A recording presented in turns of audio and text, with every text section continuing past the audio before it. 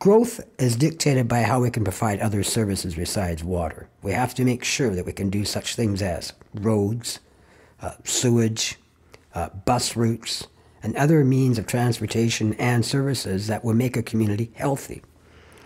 If we truly wish to get a handle on growth, then one of the first things we can do is raise the bar, demand the absolute highest environmental design standards, and the strictness of building guidelines for all developers and contractors, no matter whether you're building a house or a, a tower. Kelowna is one of the most desired locations in the world for home buyers and developers.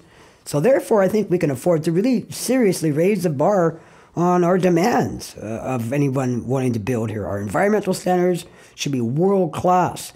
Um, the LEED gold standard that, that was being talked about under the climate action plan by the provincial government, a lot of builders talk about the fact that they're they're meeting the LEED standards. We need the very best in every building built here. And if developers and contractors do not want to play at that high level of minimum expectation, then they can go somewhere else and build.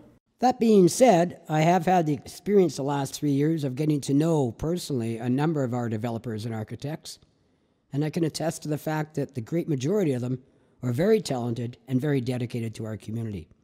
I've been accused of being anti development. That's really not fair or accurate. What I am is opposed to stupid development. There have been a few proposals that have come across our table in the last three years that I simply could not agree with, either because of the location their design or what I saw as an impact on the community.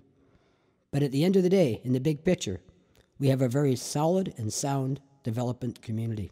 And I think our future is very bright.